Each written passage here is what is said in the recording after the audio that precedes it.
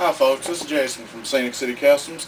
Today I'm going to show you how to install one of our ByteArts.com strum bars into a Stratocaster. This one here, the Stratocaster that we are doing this to today, belongs to Mercury Shadow 09. It, this is also getting custom paint um, with flames and the Mercury switch mod which uh, we'll be doing on a later date. For right now, I'm going to show you the tools required to get this job done.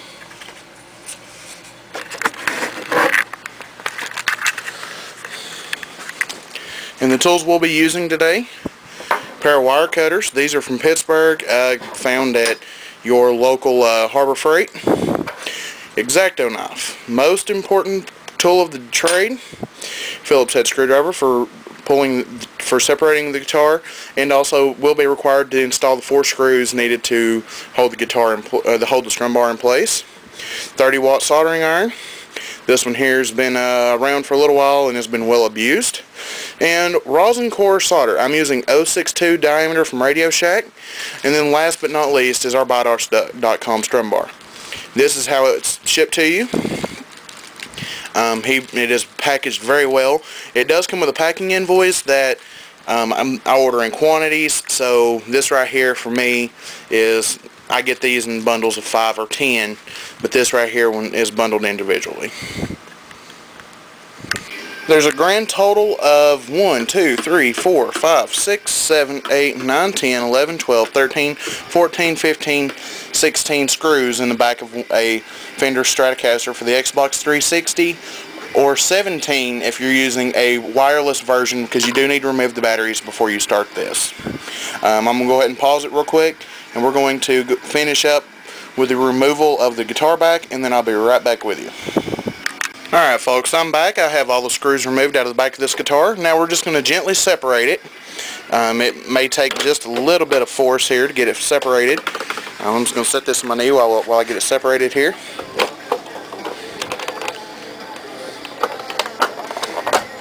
I missed a screw.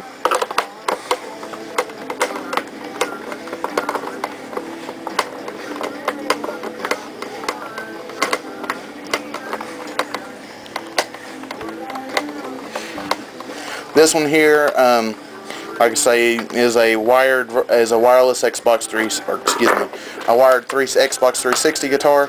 But the the top cap, the bottom half of the shell snaps off right like so. Make sure you don't lose the uh, strap pieces.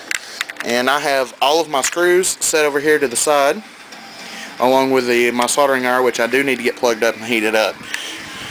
Here's an up close of the uh, strum bar assembly. There's four screws you'll need to remove and two of those screws you will not be reusing. Um, this one here is a Gen 1, Generation 1 leaf spring contact strum bar, um, which happens to be my favorite. But you'll be removing this screw. Um, now this screw will not be reused. The strum bar that you get from Scott over at ByteArts has a longer screw um, that attaches right here. Now some people do take uh, orthodont, uh, orthodontic rubber bands uh, for those with braces. You may already have some and they'll stretch them from here to here and they'll do away with that spring. Rubber bands are just that rubber. They do dry out and they do break. Um, I keep the spring in there um, and I am working on a replacement for that spring that'll last longer and technically it'll be stronger. Now the two small screws I just removed you will actually need to keep them as they will be reused. Now this little black plastic piece, set it, up, take it off, set it aside, or in my case, chunk it aside. Now I'm going to take and open up the strum bar I got from Scott here. And it comes uh, very well packaged. Um, in this case, it's taped up really well to keep it keep stuff from disappearing and shipping. Then I'm going to pull the strum bar out. If there's a screw, I'm going to set that screw aside. And then you're going to pour the rest of the three little parts that come it comes with out. In this case, they managed to have gotten separated in the other half of the bag. And you get two spacers and two longer screws that go in there and replace the strum bar. Now the strum bar comes wrapped in bubble wrap, very neat, very tight. Um, to unwrap the bubble wrap, I just snap the tape, unwrap the strum bar. I'm going to throw that aside for right now. And here's the strum bar. It's a very unique piece of electronic circuitry.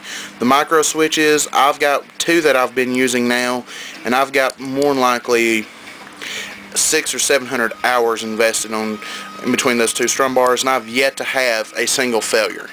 Now these little nylon bushing pieces, they go right here, one right here, and then the other one right here. And then you'll take the strum bar, make sure you get the little spring in the uh, white circular piece that's on the bottom of the strum bar. And then you take these long screws and you run them right down through those nylon pieces and you mount it where those two black screws came out of. These actually do support the strum bar itself. Um, now this is I'm building this one on a table so you'll have to excuse me here as everything is going to be a uh, somewhat difficult to line up at this moment.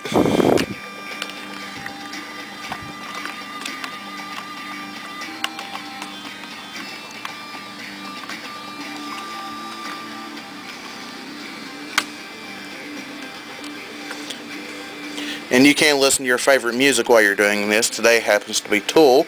The album would be Vic uh, their newest one. Forgot the name off the top of my head.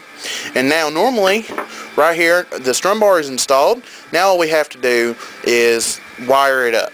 Now, with all my installs, I do solder installations for the simple fact of there's a better connection and in my case it's a lot more dependable and that's what I have to have for what we do. So I'm gonna sit here I'm gonna cut that wire. And we're gonna sit here and cut these as close as possible to your thing. There's the upstrum is on the actually on the bottom half of the guitar and the downstrum is going to be on the top half of the guitar. And you're basically seeing what I'm seeing because I'm uh, pretty much doing this through the uh, lens of the camera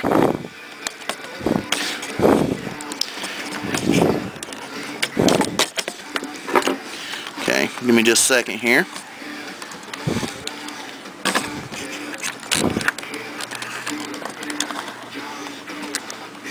And we're going to have to pull a wire, a little extra wire out here so we can get a good bite on it and get it cut.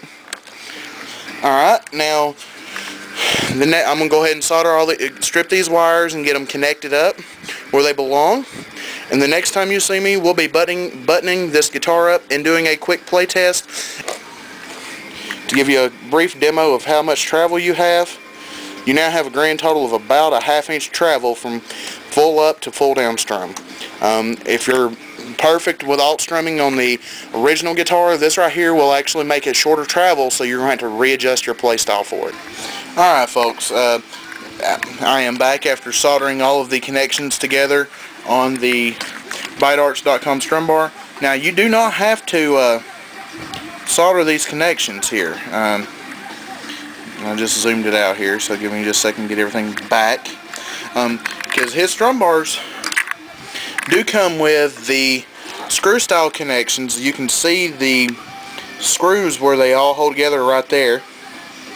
Um, on this particular, um, when like I say, when I do them, I solder them in because it's a more reliable connection and I never have to worry about it after that. Um, now another another thing that uh, I recommend doing once you get everything installed before you put the back of it back on plug it in and test it. Um, this one here because I have not tested it yet we're gonna plug it in and we're gonna test it real quick. Turn everything on um, and I, I know earlier I was in the middle of showing you the differences between the uh, two strum bars travel wise that's a bytearts.com strum bar. Now we're going to walk right over here. I'm going to grab a one of my stock strummers, one of them that I haven't put a byte arts in just yet, um, or painted. And you're looking at almost a full three-quarter inch of travel there. Um, now this one activates this one here strums right there and right there but it's still most people aren't going to stop it in the middle of the strum. They're going to travel with it which is way too much travel. Uh, now your this is my most recent guitar stand that I've completed. Um, with all of my guitars on it two of which feature LEDs and the rest will be getting them soon. And my double necks in there also which is well complete and total utter joy